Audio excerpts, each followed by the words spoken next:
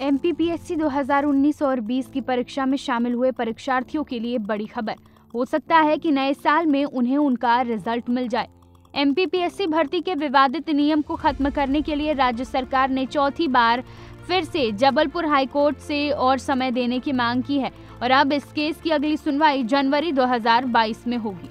M 2019-20 की परीक्षा का रिज़ल्ट अब तक घोषित नहीं हो पाया है। परीक्षा में शामिल हुए परीक्षार्थियों को रिज़ल्ट का इंतज़ार है, लेकिन अब लगता है कि नए साल में रिज़ल्ट आ जाएगा और सैकड़ों उम्मीदवारों को अपनी मंजिल की ओर बढ़ने का मौका मिलेगा। जबलपुर जबलपुर हाई कोर्ट में इस केस की सुनवाई के दौरान राज्य सरकार ने मौखिक जवाब पेश करते हुए कहा कि परीक्षा में आरक्षण से जुड़े विवादित नियम को खत्म करने की प्रक्रिया पूरी हो गई है, लेकिन इसे कैबिनेट की मंजूरी मिलना बाकी है।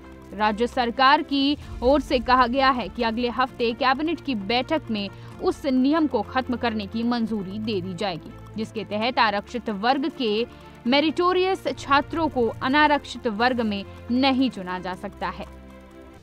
इसके बाद संभावना जताई जा रही है कि सैकड़ों उम्मीदवारों का इंतज़ार खत्म होगा और जनवरी में एम 2019-20 का रिज़ल्ट आ सकता है।